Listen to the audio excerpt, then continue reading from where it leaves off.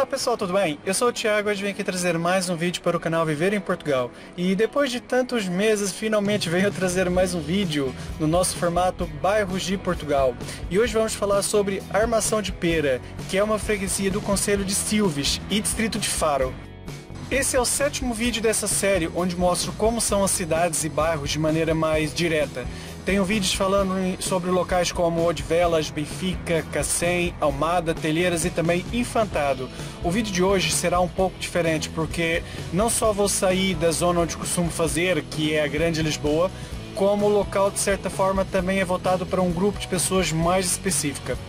E Armação de Pera fica no extremo sul do país, uh, está na zona do Algarve. E a primeira coisa a se dizer sobre o Algarve é que é uma região mais turística, mais quente do que aqui em Lisboa, e que grande parte das cidades de lá vivem do turismo. Não todas, mas a, talvez a maioria.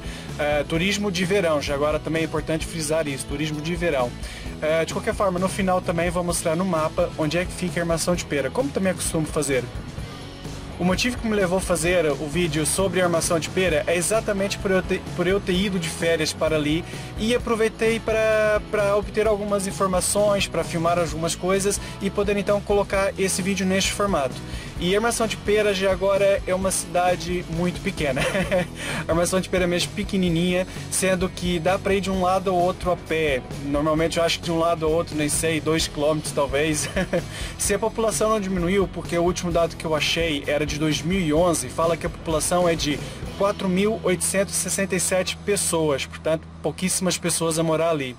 Bom, uh, infelizmente estive ali pouco tempo, foi só uma semana, e o que vou passar é um pouco também a visão de um turista. Porém, como eu falei, tive a conversar com muitas pessoas que moravam ali, que trabalhavam ali, e perguntei como era também viver ali naquele local.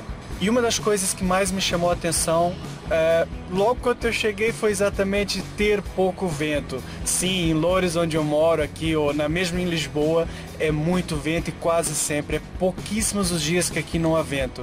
Ali houve apenas um dia que teve vento e mesmo assim foi muito pouco. Uh, outro fator que também me impressionou muito foi não ver moscas. Achei isso impressionante. Nem moscas nem melgas. Melgas que é nosso pernilongos aí no Brasil. E falando com algumas pessoas dali também me informaram que é normal isso lá, não haver vento e não haver tantos mosquitos. Espetáculo, é uma maravilha.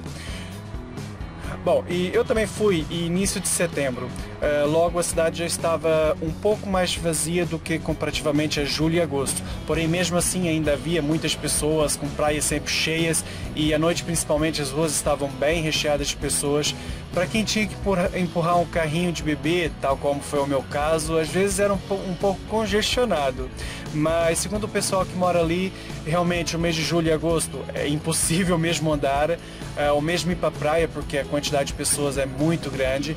E infelizmente tem algumas pessoas com um péssimo hábito de deixar toalha e o chapéu de chuva, o chapéu de sol, desculpem, e o chapéu de sol, ou guarda-sol, não é como falamos aí no Brasil, na praia para guardar lugares. Sim, eu vi muito isso e eu chegava sempre cedo por, por volta das 9, 9 e meia por causa da minha filha pequena e íamos embora aí 11, 11 e meia. E às vezes acontecia da gente ir embora às 11h30 e essas pessoas que guardavam, que deixavam o chapéu de, o chapéu de sol e lá a toalha só chegava por volta das 11 Era mesmo uma falta de respeito. E não, ninguém roubava, uh, ninguém pegava aquilo. Se bem que nesse tipo de caso podiam pegar e jogar no lixo, para essas pessoas não, não terem essa falta de respeito. Mas pronto, seguindo adiante. Eu particularmente gostei bastante de lá. Achei o local agradável, com uma vida noturna divertida, sem aquela confusão de certos lugares do Algarve, é, Albufeira, por exemplo. Claro que isso foi em setembro, agosto provavelmente terá assim um pouco mais de confusão. A água do mar era assim, mais ou menos. Mas de qualquer forma, para o padrão de Portugal, estava muito bom, era mesmo ótimo. E sobre trabalho, aí já é um ponto mais complicado de falar. Primeiro, como eu falei, não moro lá, não é? Eu fui é, eu fui como turista. E também, como falei, aquele é um lugar que vive sim, é um local pequeno e que vive grande parte daquilo, dos empregos que lá são gerados, é por causa do, do turismo. Nos meses de mais calor tem emprego a mais e pessoas a menos. Essa é a realidade. Não há falta de emprego lá no verão. Aliás, não só no verão, né? mesmo naqueles meses fim de primavera, início de outono, ainda há um certo turismo, ainda há empregos. Porém, quando começa o frio, muitos desses empregos acabam.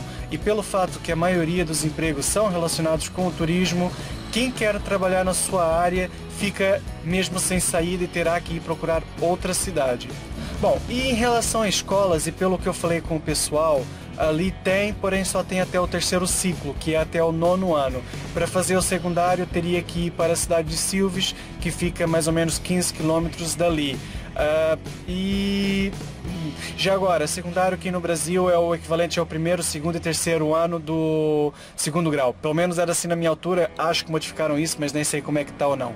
E segundo as pessoas que eu falei, que moravam ali e que tinham filhos, também falaram que isso não era assim um empecilho grande, porque realmente a distância não é assim tão longa, é verdade, e também há transportes. Bom, e falando então sobre imóveis, os preços de lá também não é assim nada de outro mundo, mesmo por ser uma zona tão turística, não é assim tão caro. É, para venda, eu vi T2 a partir de 80 mil euros, a uns 400 metros da, é, 400 metros da praia, porém um pouco mais antigos. É, vale a pena falar que quase qualquer lugar que se morar em armação de pera dá para ir a pé para a praia, quase, né? Porque há uns locais ali mais para cima, depois no mapa eu mostro que fica quase 900 metros, aí já é um pouco mais distante. Porém, para quem quer algo melhor, vi também T2 com um, eu vi um T2 com 140 metros quadrados a 200 metros da praia, com piscina por 170 mil euros. E o apartamento era novo. Ainda por cima, o condomínio dele era apenas de, de era apenas de 40 euros que é muito barato para um apartamento com piscina ali, eh, que é mesmo muito barato para um apartamento com piscina. Eu ainda tentei convencer a minha esposa para nós vendermos nossa casa e comprar essa e morar para lá, mas ela não quis. Olha, que pena. Bom, enfim, mas sobre aluguel eu não vi nada. É, não digo que não exista, apenas que eu não achei, principalmente porque a época que eu fui é uma época ainda forte de turismo, e por isso a maioria dos, de certa forma, aluguel que eu via eram todos com preços bem elevados porque era por temporada, por semana, diárias, 15 dias. É, e só para ter noção, o hotel onde fiquei, que estava mais ou menos 100 metros da praia, Uh, pagamos por uma semana o valor de 560 euros. Porém, esse ano fomos só com alojamento, ou seja, não, não tivemos nada incluído, nenhuma refeição incluída. Porque os hotéis com tudo incluído, que é o que costumávamos fazer no, uh, no passado, não é? em qualquer lugar no Algarve estava acima de mil euros e esse ano, esse ano na verdade estava tudo bem mais caro e não estávamos assim com muito dinheiro para gastar, por isso optamos por isso ao mesmo com o hotel. Bom, para resumir, a Imersão de Pera é um ótimo local para se morar, mas é um local, como eu falei logo no início, é, para um grupo de pessoas pequeno, porque é mais voltado para aposentados ou para pessoas que podem trabalhar em qualquer lado, por exemplo, quem trabalha só com internet. Claro que não é só para esse tipo de pessoas. É, uma pessoa que quiser ir morar e trabalhar, é claro que pode, mas terá que se sujeitar aos tipos de trabalho que lá tem e aquele sentido que só vai ter mais facilidade para achar trabalho no verão. É, eu conheci lá uma pessoa que morava aqui em Lisboa e estava muito cansado da vida aqui, disso tudo, que decidiu morar para lá e mal chegou, arrumou logo trabalho, também porque era no verão. Sobre a região do Algarve, eu não conheço assim toda. É, eu apenas e apenas conheço de turismo, claro. Porém, dos vários lugares que conheço no Algarve, é, para mim, a Marção de Pera fica em segundo lugar ali empatado com Lagos. Porém, para mim, o melhor continua a ser Monte Gordo, que fica ali mesmo quase na fronteira com Espanha. Bom, pessoal, então já tem aqui o mapa aberto, como podem ver, tá aqui Portugal. Vamos aproximar. A maioria dos vídeos que eu fiz, quase todos, estão aqui na parte da Grande Lisboa, ok? Até posso aqui aproximar um pouco mais para mostrar. Tá aqui o primeiro Infantado, Benfica, Odivelas, Telheiras, uh, Cacém e Almada, ok? Esses são os vídeos que eu fiz. Vou deixar de qualquer forma uma playlist aí na descrição para quem quiser assistir os outros. Hoje, como eu falei, vamos para a região. Vamos aqui distanciar de Algarve, que está Armação de Pera. Vamos aqui clicar para ir lá mais rápido. Já agora, Algarve é essa região que vocês estão a ver aqui embaixo. Tem aqui depois as cidades principais, eh, a grande maioria delas são é, cidades praias, Albufeira, Sagres, Lagos. É, olha, já agora, Olhão eu fui, olha, a minha pior experiência foi Olhão, não gostei muito.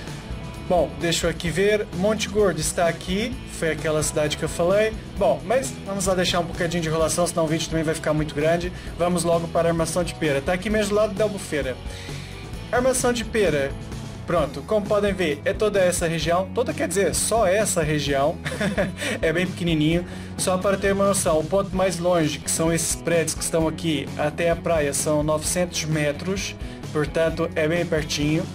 Eu fiquei no hotel bem aqui, tá mesmo de frente para a praia, se bem que tem aqui um hotel que desce logo na praia. Uh, e vi casas, olha, essa daqui, eu vi aqui também um T2 com piscina e não sei o que, também é muito boa e tinha casas baratas. E depois também há aqui uma zona que é uma zona só de vivendas, moradias ou casas aí no Brasil, não é? Como podem aqui ver, só mesmo casas. Nem quero imaginar quanto é que custa uma casa dessa, para ir 700 mil euros ou mais. Já as casas são bem caras aqui, pelo menos o pouco que eu vi eram bem caras. Bom, pessoal, olha, foi esse o vídeo, espero que tenham gostado, muito obrigado por tudo, não se esqueçam de compartilhar com seus amigos, de clicar no gostei e tchau, até pra semana pessoal!